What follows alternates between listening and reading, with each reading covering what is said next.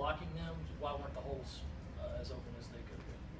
Uh, you know, schematically, they, they plugged up the middle and and played really good defense on the outsides. Uh, you know, played good contained defense and plugged up the middle. So it was, it was tough to run the ball. Um, you know, we got some young guys in there.